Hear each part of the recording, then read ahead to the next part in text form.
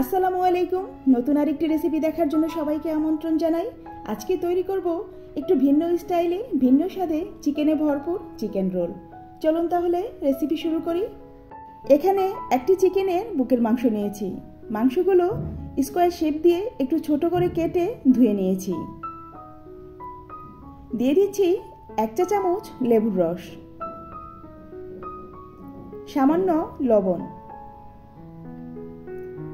Half চা চামচ লাল মরিচ গুঁড়া, হাফ চা চামচ ধনিয়ার গুঁড়া, সামান্য গোলমরিচ গুঁড়া, সামান্য গরম মশলা গুঁড়া, হাফ চা চামচ আদা রসুন বাটা আর দিচ্ছি এক চা চামচ কর্নফ্লাওয়ার। দিয়ে দিচ্ছি সামান্য সয়া সস। সব কিছু একসাথে ভালো করে মাখিয়ে নেব। মাখানো হয়ে গেলে এখন ঢেকে রেস্টে রাখব বিশ মিনিটের জন্য।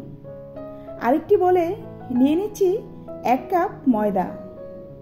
দিয়ে দিচ্ছি সামান্য লবণ। আর দিয়ে দিচ্ছি সামান্য সয়াবিন তেল। সব কিছু একসাথে মিশিয়ে নেব।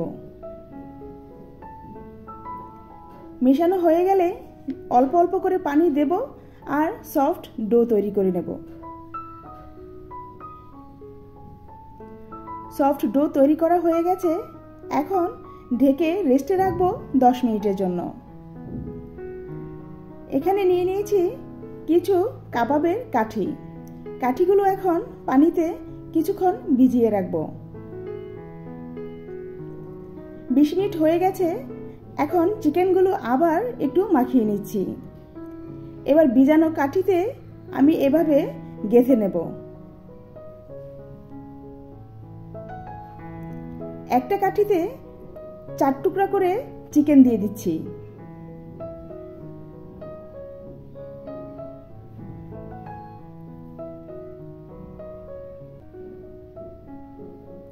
ঠিক একইভাবে সবগুলো চিকেন কাঠিতে গেথে নিয়েছি। এগুলো সাইডে রেখে এখন নিয়ে নিচ্ছি রেস্টে রাখা ময়দার ডো। ময়দার ডো আবারও ভালো করে মথে নেব। এই ডো থেকে এখন আটটা লিচি কেটে নেব।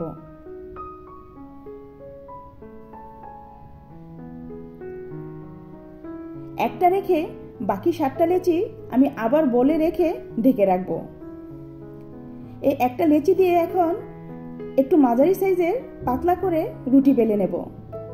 রুটি বেশি পাতলাও হবে না, আবার বেশি মোটাও হবে না। এখন রুটির এক কর্নারে দিয়ে দিচ্ছি কাঠিতে গেঁথে রাখা চিকেন।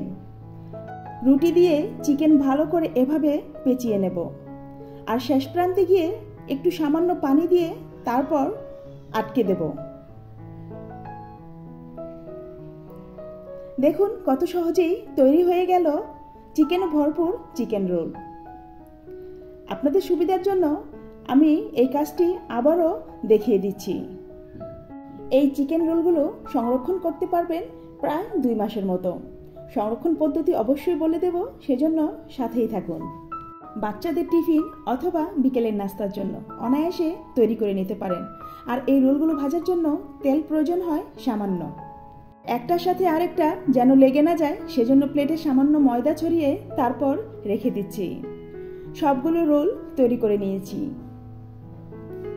চুলায় তাওয়া বসিয়ে দিয়েছি, দিয়ে দিচ্ছি হাফ কাপ পরিমাণ তেল। ইচ্ছে করলে ফ্রাই প্যানেও ভেজে নিতে পারেন। এখন দিয়ে দিচ্ছি তৈরি করে রাখা চিকেন রোল। এই অল্প তেলেই আমি এগুলো ঘুরিয়ে ঘুরিয়ে ভেজে নেব। এই চিকেন রোলগুলো যারা সংরক্ষণ করতে চান, তারা এরকম হালকা ভাজা হয়ে এলে তারপর চুলা থেকে নামিয়ে কাঠিটা খুলে এয়ারটাইট বক্সে করে ডিপ ফ্রিজে সংরক্ষণ করতে পারবেন দুই মাসের মতো। খাওয়ার দশ মিনিট আগে ফ্রিজ থেকে নামিয়ে তারপর ভেজে নিলেই হবে। আমি চিকেন রোলগুলো এভাবে ঘুরিয়ে ঘুরিয়ে ব্রাউন করে ভেজে নিয়েছি। চুলার আঁচ অবশ্যই মিডিয়ামের চেয়ে একটু কমিয়ে রাখবেন। তাহলেই চিকেন রোলগুলো পারফেক্টভাবে মুচমুচে করে ভাজা হবে। আর ভিতরে চিকেনটাও থাকবে একেবারে জুসি। সবগুলো চিকেন রোল আমি ভেজে নিয়েছি। দেখুন, দেখতে কতটা ইয়াম্মি দেখাচ্ছে। আর ভিতরেও একেবারে চিকেনে ভরপুর। আজকের রেসিপি কেমন লাগল তা অবশ্যই জানাবেন। ভালো লাগলে পাশে থেকে সাপোর্ট করার অনুরোধ রইল। সবাই ভালো থাকবেন, সুস্থ থাকবেন। আল্লাহ হাফেজ।